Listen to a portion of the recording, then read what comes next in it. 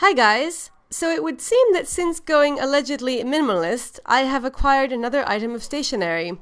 I think you're probably not surprised to see this, and I think we can all agree that minimalism is probably going to be quite relative for me with respect to planners. So um, this is the Filofax refillable notebook, and I got this because I've been curious about the discbound system for quite a while, and I was first looking at the uh, Staples ARC system, and unfortunately, it turned out that the covers that I liked are made out of leather. Um, there was some confusion, and it said in some places that they were faux leather, but I checked, and actually they're leather. So I couldn't get one of those, and um, I'm still not quite sure about the Happy Planner. And so while I was looking around investigating the discbound system, I discovered these, and these you're probably thinking these don't look discbound and they're not but they actually they're like filofax's answer to discbound they work in exactly the same way which i thought was really cool and it was so intriguing that well you can see what happened. Um, so these um, are not that expensive. They cost about i think 11 pounds um, on the amazon uk which is possibly slightly cheaper than on the Filofax UK website, but if so, only there's only like a pound's difference. Um, and the really interesting thing about them is that they are spiral bound notebooks, as you can see, but the pages are repositionable and removable and it's refillable. So I'll show you in a minute, it's exactly like the ARC system or the, the discbound system, except that it uses spirals instead of discs. And when I was looking around trying to find information about these, I noticed that there isn't very much on them um, on YouTube at all. There are a couple of reviews. The most extensive one is by the Goulet Pen Company, and I'll link that below. But there really isn't a lot of information, so I thought it might be helpful. As always, buying stationery in the name of public service, right? Haha. um, so I thought it might be useful for you to see them in case you, are curious about them or uh, maybe you didn't know about them because I only found out about them recently. Um, so they come in quite a few different colors. Um, this is actually, I, I, usually would go for a more colorful option, but for some reason, all of the other colors, and I don't know why they did this, they come in um, fuchsia, like a light blue, a dark blue, um, an orange, I think a, a red and a green. So lots of like great colors, and I would normally go for one of the blues. But all of the other colors have uh, a white stripe on this elastic and then the spirals are also white. And I think that's probably a feature that a lot of people like, but I didn't like it. I wanted it to just be one solid color, and the only one that is just a solid color is the black one. So I don't mind black, but you know, usually if there's a colorful option, I, I, I would pick that instead. But anyway, that's why I got black. Um, but if you go to the Filofax website or to Amazon, you can see all of the different colors that they have. So if you don't mind the white stripe, then you've got lots of choices. And they come in two sizes, pocket and A5, and those correspond roughly to the Filofax binder sizes. So just to give you a bit of a comparison, because it's a notebook, it's it's smaller than the binders. It's the size of an A5 sheet of paper. So if I compare it to this A5 size Jamie Notes binder, you can see that it's just it's a bit smaller. Um, it's like kind of a true A5 size. And then here it is compared to the Hobonichi Cousin. So the pocket one, I, I don't have the pocket one, but the pocket one um, would be like, I guess, sort of a bit smaller than an A6. So they are made out of a like a faux leather cover. Um, and it's a kind of slightly, slightly textured, only very, very much, like you can sort of see a bit of a grain, but you can't really feel it. Um, and it feels like they have some kind of, I don't think, I'm not sure if there's any material on the inside. It, it sort of looks like there is, because there's a slight ridge around the edge, but I think that's just a design feature because when you feel it, it doesn't actually feel like there's anything hard inside this. It's kind of pretty floppy. I'll open it in a minute and then you can see. And um, as you've already seen, it's got an elastic and the elastic has like a little um, kind of like niche carved into it, which is where the string goes, which is a feature that I haven't seen on any other of these notebooks like Moleskines or Leuchtturms that have uh, one of these elastic bands. So it's it's intentionally got this place for it to go. And if you're wondering, um, there have been a lot of notebooks that I've seen where the elastic like kind of leaves an indentation. This one doesn't. There's no indentation at all. I don't really mind the indentations, but I've seen them on like um, the Passion Planner and sometimes on uh, Moleskine and Leuchtturm notebooks. And um, I think you probably know what I'm talking about. This doesn't have anything, so it's quite strong. It's it's not. It's like it's sort of a bit floppy. It's like um. It's kind of like a cross between a hardback and a softback. It's somewhere halfway between. It's like kind of a bit sturdier than um, a soft uh, Moleskine, if you know what I mean, um, but not like really hard. And it's just got this label which peels off easily. It's left a little bit of glue, but that's just there, that's come off. And then on the side, as you can see, it's got this spiral which which comes out, uh, as in it, it doesn't really extend very much, but you can see it. It's not it's not covered by the binding. And I'm not sure why they did that. I don't know if there was a technical reason for it. I would have liked it better because, as you know, I don't really like spiral binding. So I would have liked it better if this was completely covered up and you couldn't see the spiral on the outside. But I suspect it's probably something to do with the durability, that it probably would be. I don't know, like maybe maybe the spiral it some helps to keep the spiral together, maybe. Um, and the spine is like kind of made out of the same material as um, is the cover, so it's sort of bendy. You can see here, it's kind of um, a bit, it's sort of soft. And it's got these like kind of two little ridges, which I guess are just a design feature. And there's no labeling, which is kind of odd for Filofax. Usually you'd have the Filofax logo on the side, but you can see there's, there's nothing here.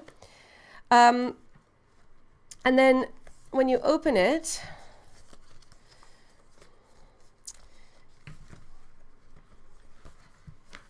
it comes with this piece of cardboard, which I'm just going to take out now. And there's a piece of cardboard on the other side as well. So you see without the cardboard, it's, it's quite floppy. Um, and I think that this is one of the things that's making me a bit unsure about how I feel about this. I really like the idea of it, and it was mostly because I, I was curious to try out this kind of refillable, repositionable system that didn't wasn't based on rings. Um, but it, it's not Filofax's fault because this is billed as a notebook and it really feels like a notebook. Like somehow I think that because it had um, a faux leather cover, I was expecting it to kind of feel a bit more like a binder, even though I knew that you know, obviously it, it's not as big and it, it, you know, it doesn't have the rings, but I kind of thought it would have more of a feeling of a, like a binder, kind of a sturdier feeling. But this to me feels very flimsy. I don't know if flimsy is really, maybe that's being unfair. I, am not saying that it wouldn't be durable, but it somehow, it just really, it doesn't feel like, um, it kind of doesn't feel as, as sturdy and as, as substantial as what I was expecting, which is probably my fault because it's not like they, you know, said it was a planner, but I was kind of expecting it to be a, sort of more similar to, I guess, more similar to a planner cover. Um, whereas this kind of feels a bit like, it doesn't even feel like the clip book, which I, which kind of seems more sort of substantial and and faux leathery. This just it kind of feels almost like very thick cardstock, even though it's not, but that's just the, the kind of feeling that it has. So it's very notebooky, if that makes sense. Um, and so, yeah, there's nothing here on the inside. Um, then you get to the interesting bit, which is you can see these are the spirals. The spirals are not very sturdy either, which I don't think is a problem in this case. Um, although really, I mean, you know, you'd probably have to use it for a couple of months to be able to give a definitive verdict on that. But you can see that they like they're bendy. They're not they're not really strong. So it's a double spiral, and it comes with this ruler. And this again, this is um a lot thinner and bendier than the normal Filofax ruler. So you if you compare this to the normal Filofax rulers, you can see the the difference. Um, let me just take a standard Filofax ruler so you can see it's about the same size. It's a bit, a little tiny bit wider and a bit shorter, but it's, um, see this one is like much sturdier, which I don't think is a problem. I, I really, it's not like I think there's anything wrong with this, but it just, it kind of gives a different feel, I think. It feels sort of very insubstantial. Um, but you can so you can see the cool thing here. This is the feature that sort of drew me to it, is that it works the same way as the Filofax ruler, in that it's got these like kind of it's punched and then it has a little slit at the side so you can slot it in or out. Um, but you can see that it's got a whole bunch more um, holes than a normal Filofax ruler would, and that's because that's how this system works. So it's got one, two, three, four, five, six, seven, eight, eight spirals. And the way that the ruler works is exactly the same as how the pages work. So, ta-da! You can take this out, and then you can put it back in. So I think that this is really clever, and I'm surprised that Filofax is the first to have come up with it. It's exactly the same principle as the discbound system, but instead of having the discs, you just you just have the spiral, which I think is nice because even though I don't like spirals as a binding method, I think that this is, oh, you know, if you want to have removable and repositionable pages, this is a great way to go because you can already, you can see that these don't stick out hardly at all. So if you're writing, it's going to be really easy. The, the spirals don't really get in the way. As opposed to a discbound system where the, the discs, you know, kind of whatever size of discs you have, the discs are going to stick out more, so they're going to be kind of more like rings. Um, and so I, I think that this is this is quite nice because it's it's like almost even with the page. And even if you flip to the middle here, the discs still don't really stick out very much. So I think that that's in the, the, the spirals. So I think that that's an interesting concept and a nice alternative to the discbound system. Um, so if if we just look at the paper here, so supposedly this is 100 GSM paper, um, which is like if you um, compared it to, let's say, Inkwell Press, which is like the thickest paper that I've heard of, is 140 GSM. LimeLife is 120. Normal Filofax paper is 70 GSM. Um, and the like cotton cream is 90. So this is thicker than that. Uh, but it's not, it's not that, I don't know, it doesn't look very nice. It just looks like normal notebook paper. Um, if you look at the Goulet Pens review of this notebook, they do quite an extensive pen test with all different kinds of fountain pens, and apparently it, it holds up quite well. So it is allegedly fountain pen friendly for the most part, which is a good thing. I don't use a fountain pen, so I'm just like kind of going by the way it looks, and it, it doesn't look very nice. And I think that obviously that's subjective, but I just think it, it looks like very kind of standard notebook paper. And I think that this is one of the major issues with this notebook is that because this is Filofax only, you can't get any other refills for it. You know, so if you're thinking you like the system and you like the, the way the cover looks and you wanted to like, you know, get some nice paper and put it in, you would have to cut your own holes. Or apparently the arc punches do work with this. There's another video that I will um, try to link below as well, where um, she does a comparison between this and an ARC notebook.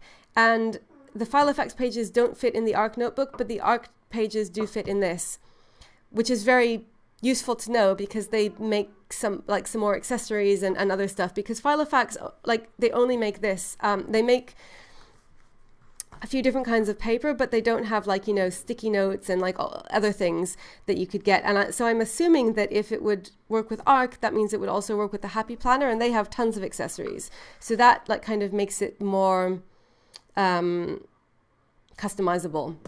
Um, and of course, you, you can also, even if you don't have an arc punch, you, you can like just use a single hole punch and then cut slits in the side and, and put them in. So it's not like I'm saying it's impossible to customize this, but it's just not going to be as convenient.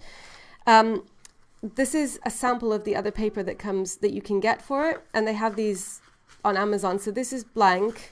They just give you a few a few sheets, um, and this is um, gridded paper. So it's nice to know that it comes with gridded paper.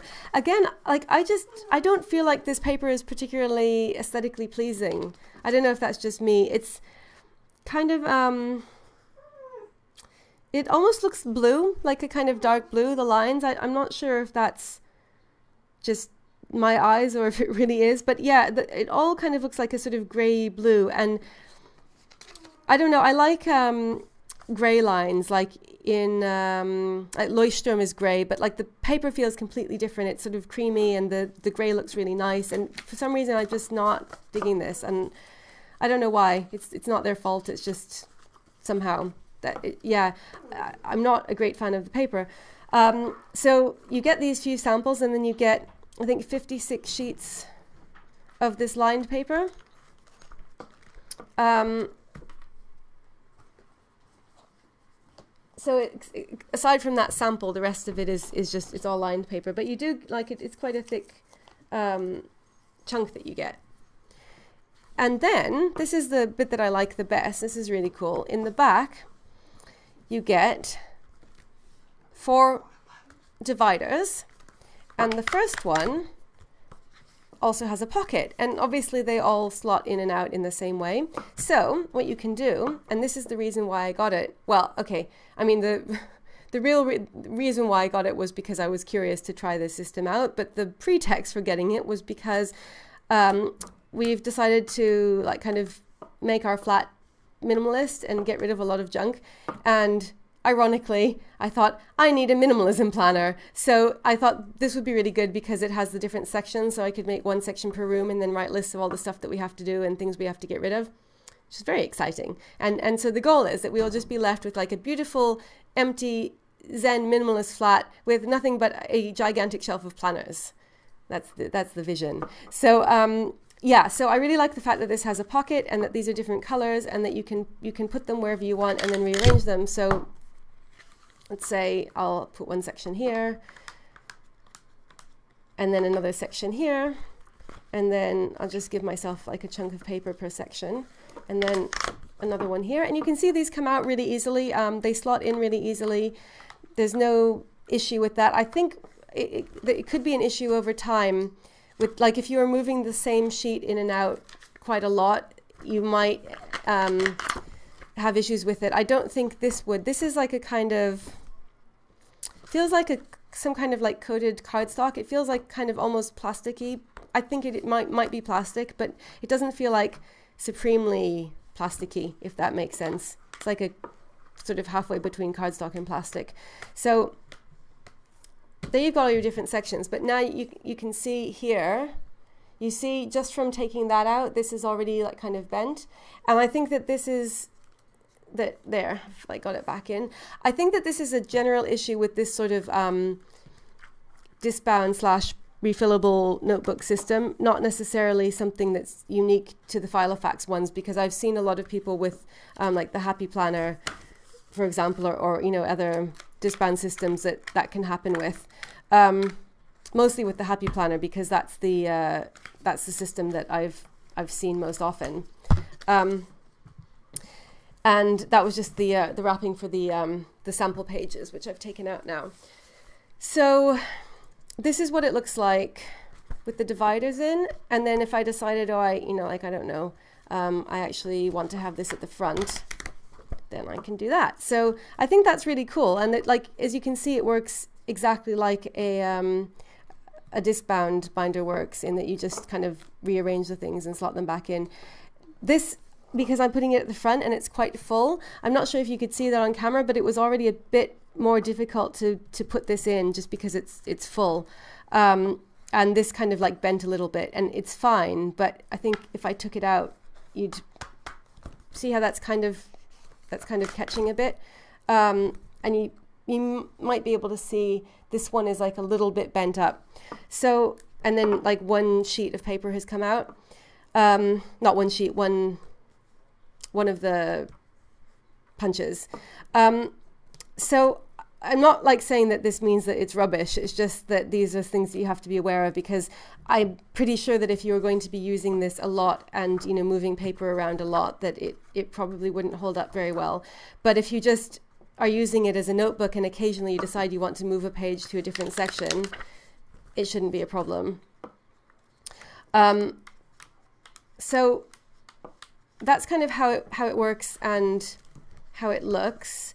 Um, and I'll just show you the back here. So at the back, this is something else to be aware of, is that at the top and the bottom, um, you've got, let's see if you can see it, there's like a, see there's like a little hook at the end. Um, and the paper can catch on the little hook. It's just at the, the bottom and the top. And also it's it's not that sharp, but it's a little bit like kind of feels unfinished. And the binding it's kind of bound so that it doesn't easily come apart, but like you you could you could sort of pull this half of the binding away from the other half, like most spiral bound notebooks. Um, there's like kind of nothing holding the two sides together, as opposed to a coil where like the whole thing is is one piece. This is like two different pieces that have been sort of put together but not um, tied together, if that makes sense. And then the back has nothing on it. And then when you when you turn it over on the very back, it's got Filofax. It's like debossed at the bottom which I think is nice. It's always very nice to have the Filofax logo. It's so friendly and comforting. And then um, this is like kind of the slot where the uh, where the elastic goes, and so you just close it like that. So yeah, I I think I, I'm still feeling kind of ambivalent about this. I really want to like it, but I'm not sure if I do.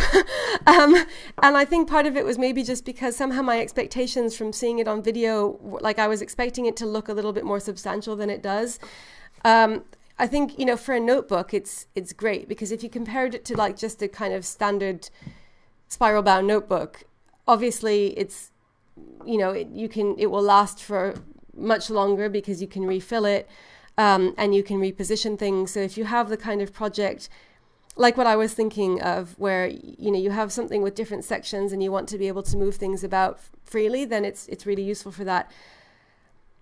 But if you're, I think if you're, I don't know, I have the feeling that if you're a planner person like me and you're really into the aesthetics of, you know, like kind of what the, what they feel like and look like and just kind of the whole thing it's it's it feels much more like a notebook than I would like it to.